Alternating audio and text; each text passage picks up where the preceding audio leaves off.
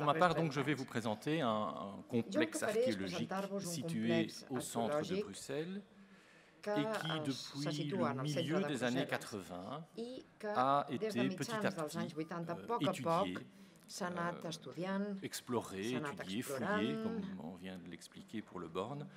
Et puis, euh, mais ça a pris beaucoup plus de temps aussi, aménagé et développé pour accueillir des visiteurs, tant locaux, euh, public bruxellois, que euh, les visiteurs étrangers. Euh, le titre du, du site, c'est Codenberg, ancien palais de Bruxelles, site archéologique et musée. Alors, le Codenberg, c'est d'abord simplement un toponyme local qui signifie le mont froid. Euh, je sais pas si on dirait Monte, Montefrio ou quelque chose comme ça, euh, qui domine euh, la vallée de la Seine et dont le relief est dessiné par des euh, ancien palais de Bruxelles et je vais quand même m'y consacrer un petit peu à l'histoire de Bruxelles, car ça reste évidemment le cœur de notre site et de la démarche. Et on va euh, se diriger vers euh, le, un des points euh, clés euh, de l'histoire de la ville, qui est encore toujours aujourd'hui le lieu de pouvoir euh, à Bruxelles, le quartier royal, avec, euh, vue ici du ciel, à la fois le palais royal de Bruxelles à, euh, à gauche et sur votre droite la place royale à Bruxelles, un quartier euh, tout à fait néoclassique de la fin du XVIIIe siècle, mais qui euh, en réalité s'est développé en remplacement d'un euh, site, enfin plutôt d'un complexe euh, palatial, d'abord castral et puis palatial, du château de Bruxelles devenu palais de Bruxelles, qui s'est développé du XIIe au XVIIIe siècle. et qui a non pas un bombardement ou une guerre, mais bien un incendie euh, extrêmement important en 1731. Vous voyez euh, en dessous une autre vue de ce quartier après l'incendie, vous voyez sur la gauche des bâtiments en ruine. Et après avoir laissé ce quartier pendant une quarantaine d'années à l'état de ruine, euh, on en a fait table rase, tabula rasa, euh, jusqu'à un certain niveau pour reconstruire alors un quartier néoclassique de style euh, français. Mais donc, sous ce quartier euh, alors voilà, euh, en gris, le, la situation actuelle, qui est celle qui a été dessinée euh, vers 1775-1780, mais en orange, ou en brun, vous avez en surimposition le plan des bâtiments tels qu'ils existaient euh, depuis le Moyen Âge et jusqu'à 1731. Et dont des vestiges euh, subsiste en souterrain de la ville du XVIIIe siècle. Quand on plonge dans le deuxième niveau de cave de ces bâtiments néoclassiques, qui ont des caves bien entendu, mais souvent il y a un deuxième niveau de cave, parfois un troisième niveau de cave, euh, on est immergé immédiatement dans une autre époque euh, et dans des vestiges qui appartiennent à l'ancien palais de Bruxelles, car ces bâtiments, vous avez vu, c'est euh, l'ensemble euh, du lieu de pouvoir historique de Bruxelles. Quelques vues d'ambiance d'abord et le fruit des recherches menées par des historiens, des archéologues, des historiens de l'art, des architectes au cours du XXe siècle euh, essentiellement. Reliés aussi par un intérêt croissant de la population pour l'histoire locale, surtout dans la deuxième moitié du XXe siècle. Stimulé aussi par l'attrait un peu magique de vestiges enfouis, euh, de salles souterraines, de tunnels reliant le palais royal à quelques autres mystérieuses salles. Plusieurs journalistes ont euh, longtemps exploité une fibre un peu euh, de fantasme ou de mystère, euh, mais qui a fini par donner une réputation bien ancrée à la fin du XXe siècle à ce que tous les Bruxellois appellent encore aujourd'hui les souterrains de la place royale. Et cette euh, notoriété qui relève un petit peu de la pseudo-histoire ou de la pseudo-science, a néanmoins participé, bien sûr, à la sensibilisation en fait, du, grand public et au départ de cela aussi des responsables euh, politiques au potentiel de mise en valeur euh, touristique même que représente le site. Comme je vous l'ai dit, il s'agit au départ deuxième et troisième niveau de bâtiments situés euh, le long situés à la place royale et qui appartiennent à l'État euh, fédéral belge, qui vont être explorés et identifiés comme étant effectivement les vestiges de l'ancien palais. Ces, ces, bâtiments vont être transférés en 1989 à la région de Bruxelles-Capitale, structure de décentralisation mise en place à ce moment-là. Et dès cette époque naît l'idée de les rendre accessibles au public, mais le projet n'est pas véritablement une priorité euh, de la politique régionale. Au début des années 90, ce sont les services municipaux de la ville qui sont gestionnaires des espaces publics, des voiries, du sol des voiries, qui vont entamer euh, une importante fouille dont vous voyez euh, une photo patrimoine.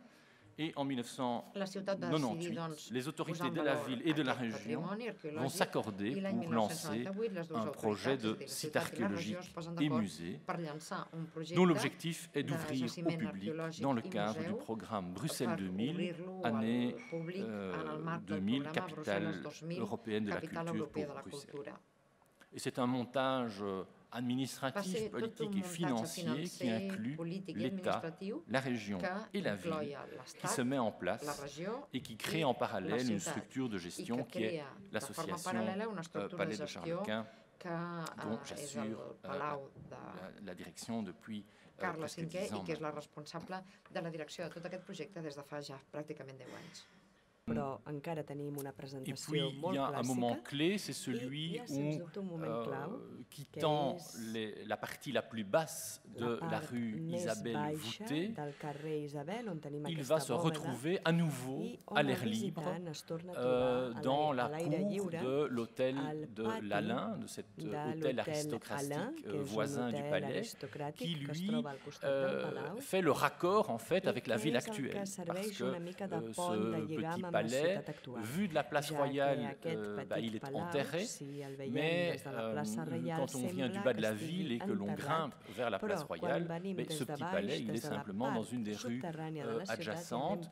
C'est là aussi un, un, moment clé de cette compréhension de la topographie. Et dans cette, hôtel aristocratique, qui avait été entièrement affecté à des fonctions de euh, chaufferie, caves, locaux techniques de ministères au XIXe siècle. Il ne reste malheureusement plus rien de la décoration ou de l'aménagement intérieur d'origine. Et donc il a été fait le choix pour cette partie-là de faire une restauration propre, sobre, de façon à y installer euh, des collections permanentes et des salles euh, d'exposition temporaires. Tout au long du site aussi, euh, l'ouverture en 2009, je vous donne ici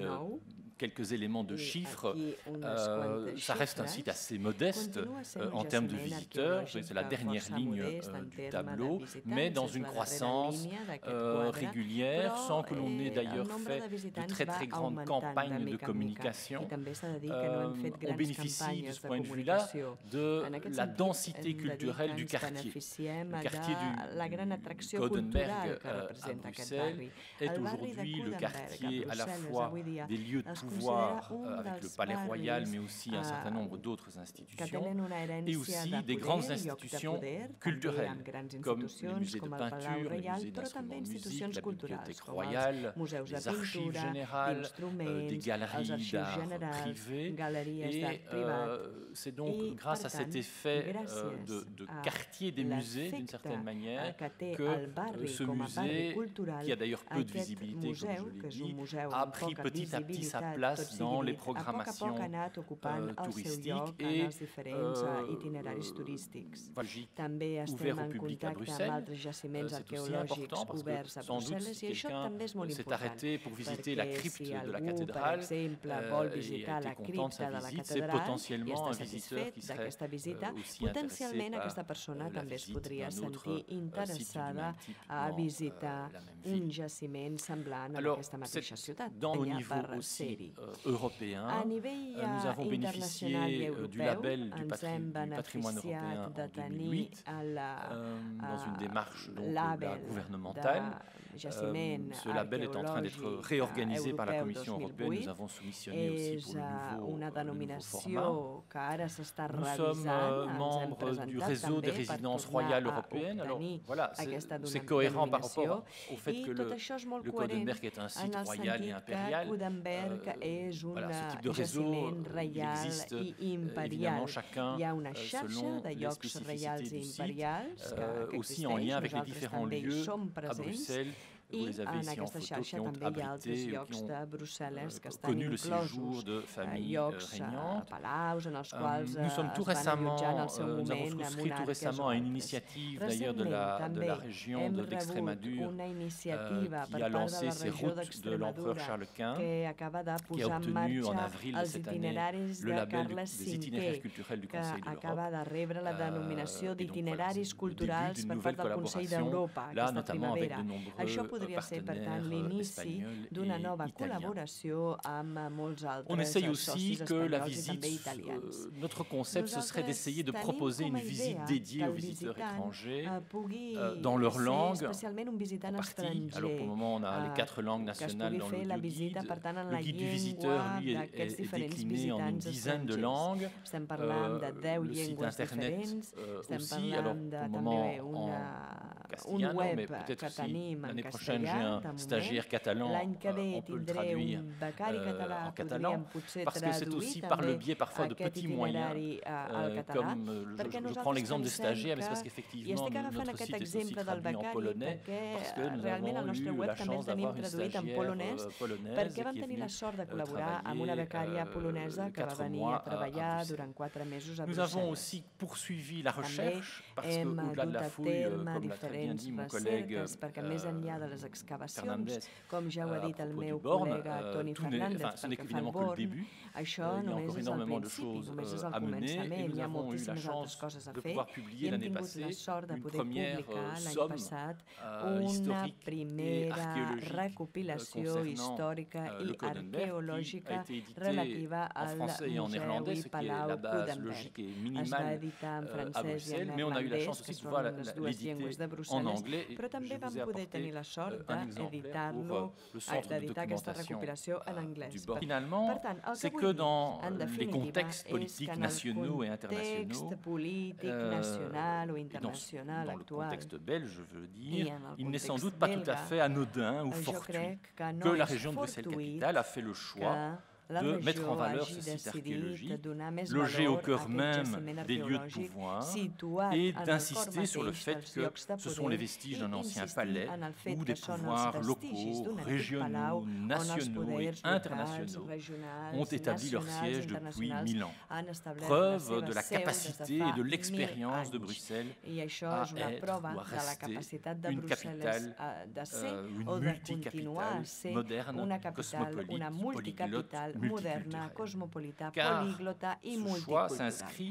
Dans la perspective politique actuelle de voir dans cette fonction de capitale euh, la principale et piste de développement pour Bruxelles. Alors ça n'enlève absolument rien à la valeur du patrimoine présent mais il faut garder à l'esprit avec modestie que d'autres lectures de l'histoire du site sont susceptibles d'être faites, euh, tout aussi pertinentes ou tout aussi impertinentes parfois, par nous-mêmes ou par d'autres, d'autres plus tard ou d'autres venus d'ailleurs, comme vous. Et je vous invite en tout cas euh, chaleureusement à visiter euh, retours de votre part sur, cette, sur la lecture que vous feriez euh, de cette histoire du Codenberg, sur la manière dont le Codenberg pourrait parler pour vous, et peut-être aussi une lecture critique sur ce que nous que nous proposons. Euh, c'est dans ce, cet espoir d'échange euh, qui, qui, me semble extrêmement important, notamment pour arriver à, à l'ambition que nous, que nous menons, qui est d'essayer de, et on n'y est pas encore du tout jusqu'au bout, mais d'essayer de proposer euh, à chaque visiteur un discours qui soit cohérent par rapport à, à son propre contexte, à son propre background. Et effectivement, on essaye de euh, présenter dans l'histoire du site des choses qui peuvent accrocher le visiteur hongrois. On va peut-être parler un peu plus vite de Marie de Hongrie, euh, tandis qu'un visiteur d'un autre pays, on, on prendra peut-être une approche euh, différente, euh, prenant une autre adoptarem un enfocament diferent i ens centrarem en una altra anècdota de la història d'aquest jaciment per poder acompanyar-lo en la seva visita. Moltes gràcies per la seva atenció.